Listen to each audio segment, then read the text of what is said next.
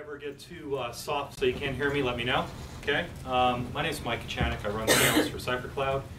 Um, been with the company since its founding 30 months ago. Uh, we're now a, a fairly well-known uh, early-stage firm. As you can tell by the name, it's focused on cloud data protection. It's all about encrypting and or tokenizing your data before it leaves your enterprise and as it gets stored into popular cloud service, public cloud services like Salesforce or Amazon, Google Mail, Microsoft Office 365, and Box, right? Um, the problem we focused on was essentially the number one problem in adopting clouds, right? Worrying about data, how to protect that data, and also worrying about regulations associated with, with, uh, with data in general. So we often find ourselves in between kind of the IT side of the house, whose uh, job is to protect data, right? Uh, to uphold uh, all the fiduciary responsibilities associated with customer data, and the business side of the house that wants to adopt new and cool innovative technologies, often coming to market as cloud services, right? So in between this kind of Mexican standoff, we can insert ourselves and we basically give a compromise. We allow our customers to selectively encrypt and or tokenize data that is intended, the endpoint targeted to be a cloud service. If you take any uh, type of survey you like, it's always picked as the number one issue in the market.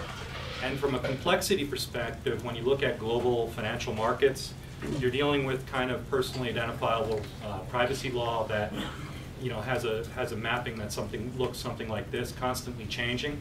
But if you're in Singapore, you know the rules associated with exporting data out of Singapore. If you're in Switzerland, you know those rules. And we basically can come into these environments and give organizations an ability to protect that privacy citizen data uh, in these local jurisdictions and still yet use uh, services like Salesforce with the economic value associated with uh, adopting all these cloud services.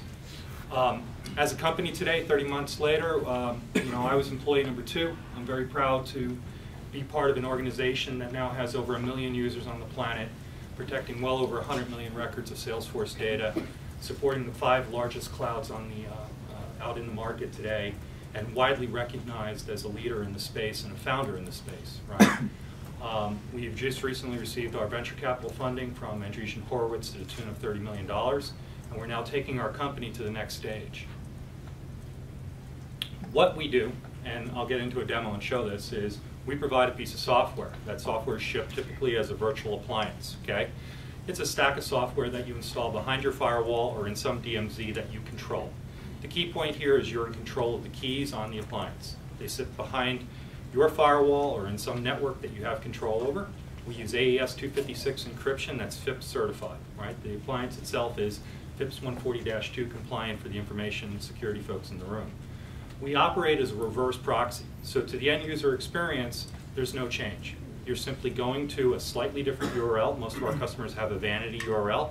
So if you're from Morgan Stanley using our, our product, you'd have morganstanley.salesforce.com. And at that point, you would transition out through our gateway to the endpoint of Salesforce. We would do our job as encrypting the data in a bidirectional fashion, both get and post from the endpoint service. We selectively encrypt data. Uh, our customers pick the most sensitive data and apply different kinds of rules to different kinds of data. Social security numbers, account numbers have a different classification of data security than does a street address, right? We can preserve all the functionality of an application like searching and sorting, but yet the data is still encrypted. That's because we see all of the web traffic transitioning through the appliance. The actual technology itself is expandable, right? So what we have built is a platform. That platform is extensible from an open framework perspective, and that's how within 30 months we've built interfaces to the five most largest clouds on the planet. We've also extended in the area of functionality associated with malware detection, data loss, data leak prevention, and user audit. We see every read and write in the cloud, so we can tell you exactly who has seen a piece of data in a cloud service. We can report that to Splunk and do all kinds of interesting reporting capabilities, letting an organization know exactly how much confidential information is actually uh, you know, uh, gone outside of its enterprise. Uh, whether it's Salesforce.com or Microsoft Office 365, these images are the going through the gateway versus the encrypted image, or Box.net, the technology operates the same. You simply use the cloud service that you've always been using, going through the gateway, no performance degrade, no functionality loss, right? Um, so Some of our customers examples, a top three US bank is using us to basically process every mortgage in the United States. They're using a Salesforce portal as a loan origination portal. Joe Q Public uploads his 1040 form, uploads his payroll stub, tells the bank where he's lived for the last 10 years of his life, tells the bank what his mother's maiden name is, and submits his loan application. That is processed by about 20,000 internal loan officers at this bank. That is a Salesforce portal. That is basically something that would not have been able to be completed as a traditional kind of roll your own on-premise Siebel built type scenario, right? Semiconductor provider operating out of Singapore needs to protect cir uh, circuitry. We encrypt that data. It's a repository of semiconductor data, right? Basically designs, circuit designs. Top Australian bank operating with one of the more egregious privacy laws in the world out of Australia, right? Is using us to protect all of their chatter feeds and, and various operational uh, aspects of their business in different world markets. Okay, so I'll transition to the demo now. and what I have for you is basically a demonstration um, logging in through Salesforce.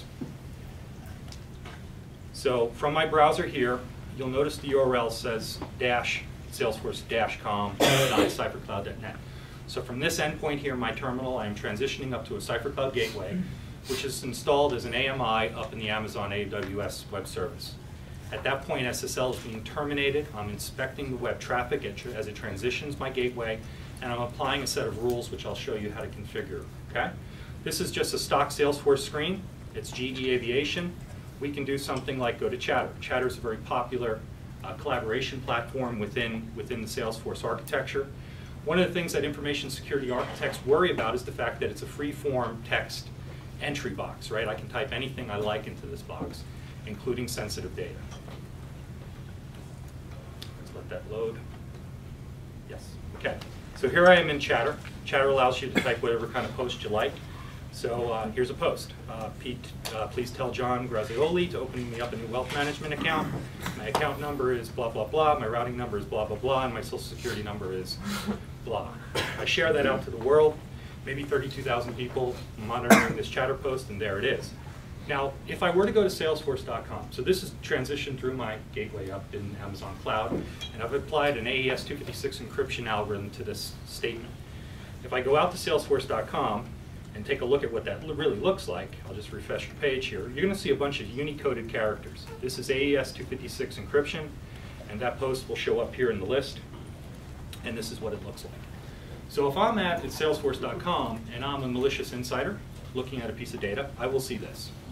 If I'm the United States Department of Justice and I issue a subpoena to salesforce.com to turn over the chatter archive of Morgan Stanley, I will see this a second subpoena would have to be issued, right, for the encryption key.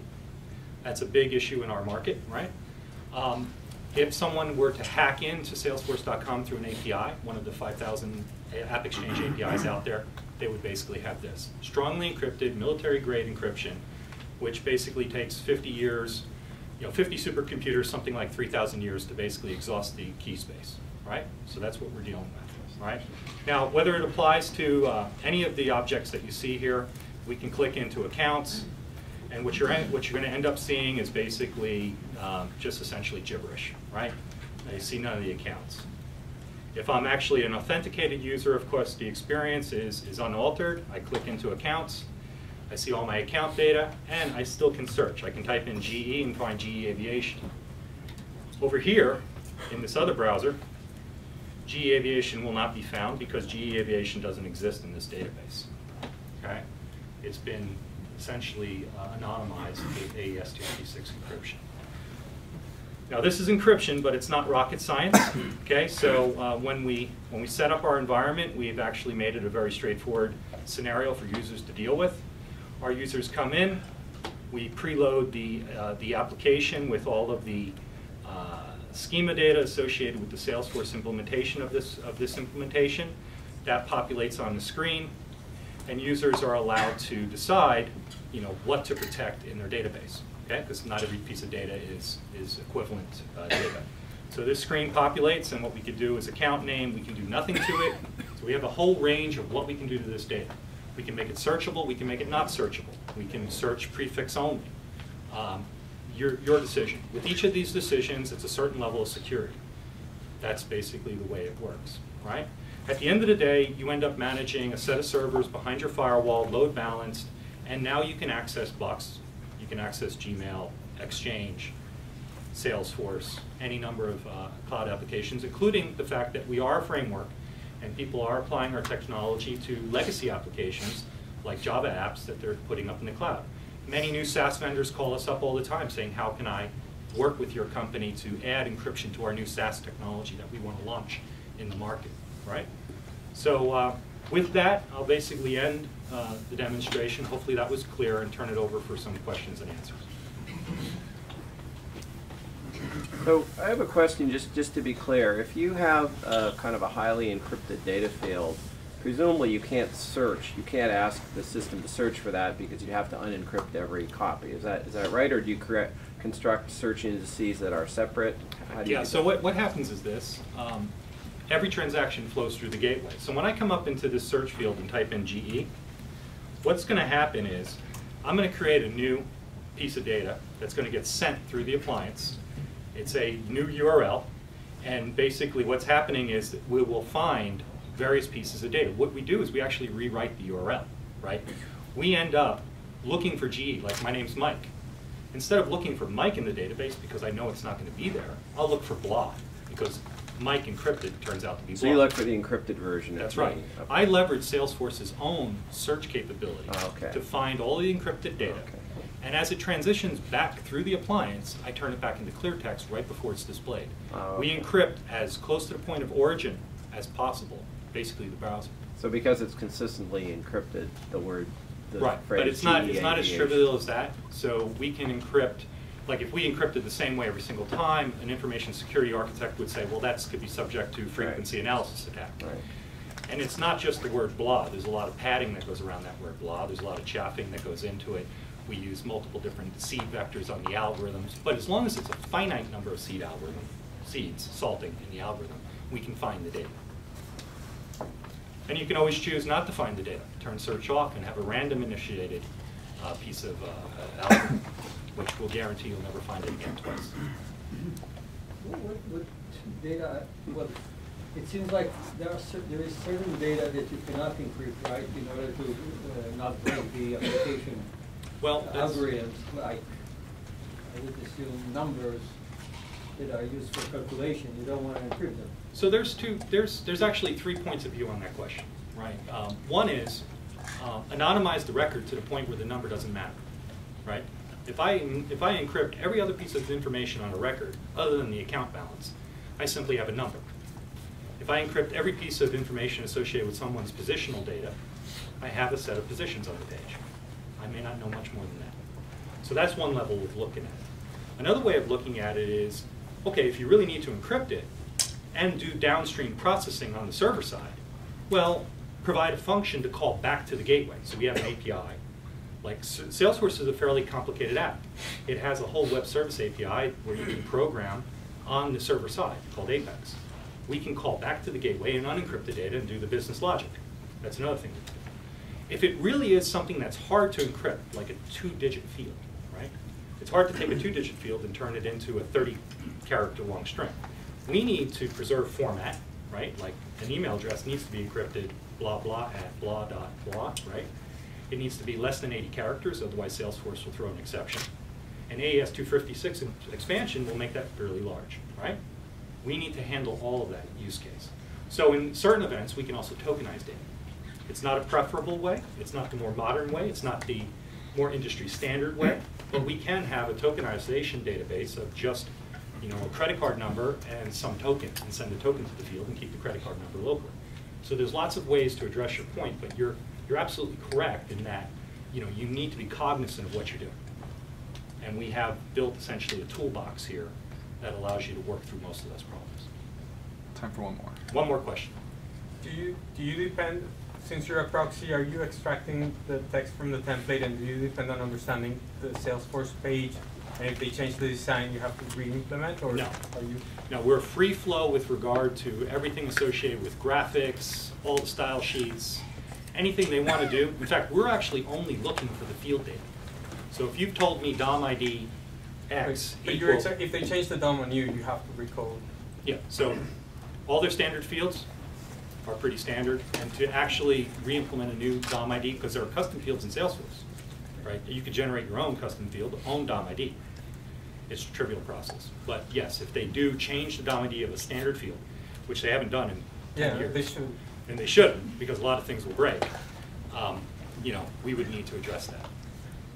Okay, well, hopefully that was very useful.